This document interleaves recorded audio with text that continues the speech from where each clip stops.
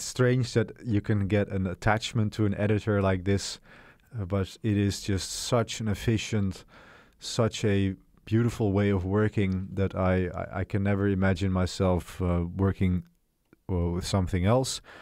Even if I have to use a different editor, I would also always still use the, the Vim key bindings because those are usually available in, in, in editors as well.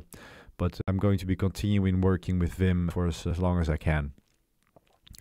Now, I, I starting on Vim, I, I, I had like everybody else, I was just using the normal Vim and I had no configuration whatsoever. And I just started slowly, slowly building up my VimRC and, and yeah, configuring it as I went along.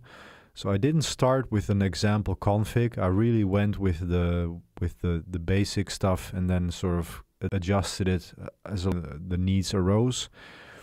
Later, I then switched to NeoVim because I was starting to require more language server capabilities and I also wanted to learn Lua. And so I use Vim for both my my coding, but also for my note taking, for my Zettelkasten, and for writing documents for work, for everything.